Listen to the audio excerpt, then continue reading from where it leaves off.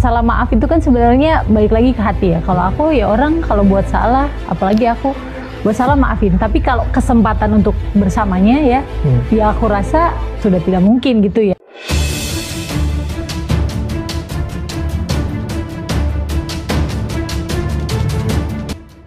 Penuh bahagia keluarga Lady Nayawan dan Rendik Jernet.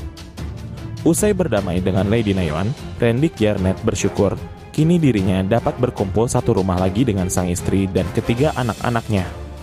Lady Nayon memberikan kesempatan kedua bagi Rendik Jarnet usai gugat cerai karena terbongkar perselingkuhan dengan Syahana Sadikah, adik bungsu Raffi Ahmad. Rendik Jarnet ungkap syukur bisa kembali bersama Lady Nayon. Pasalnya perjalanan keduanya untuk kembali bersama tidaklah mudah. Diakui Rendik Jarnet untuk kembali berdamai dengan Lady Nayon tidaklah mudah sebab ia harus berupaya meyakinkan kepada istrinya bahwa dirinya serius untuk bersama lagi dan tidak ingin bercerai.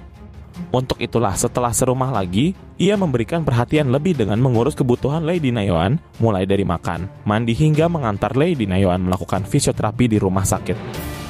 Akibat perselingkuhan tersebut, akhirnya Randy Jarnet meminta maaf ke JJ Govinda. Randy Jarnet mengaku sangat menyesal dan berjanji nggak melakukan hal yang sama. Karena akibat perselingkuhan tersebut, Randy Jarnet hampir saja bercerai dengan Lady Nayon. Kini usai meminta maaf, Randy Jarnet menginginkan Syahnas Sadikah melakukan tindakan yang sama dengannya usai perselingkuhan mereka terbongkar. Sebab setelah perbuatan selingkuh pasangan artis ini terungkap, Randy Jarnet mengaku sudah minta maaf pada JJ Govinda. Sebaliknya, Syahnas Sadikah belum melakukan itu kepada Lady Nayon. Perselingkuhan Prendik Jarnet dan Syahnas Sadikah dibongkar oleh Lady Nayon.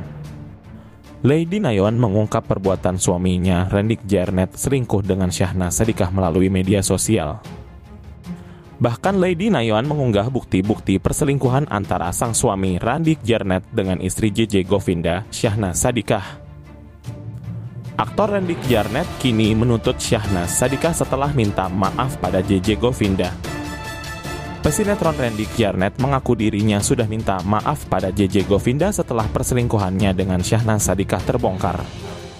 Di samping itu, Syahnas Sadikah juga telah meminta maaf kepada suaminya JJ Govinda, akan tetapi belum ke Lady Nayon istri dari Rendik Jarnet. Sebab Randy Jarnet mengakui sempat meminta maaf terkait perselingkuhan tersebut kepada suami Syahnas Sadikah, JJ Govinda.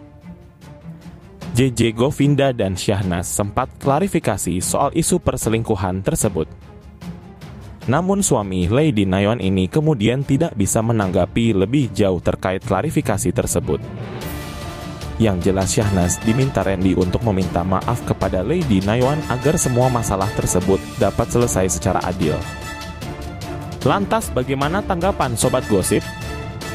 Setujukah Syahnas minta maaf ke Lady Naywan?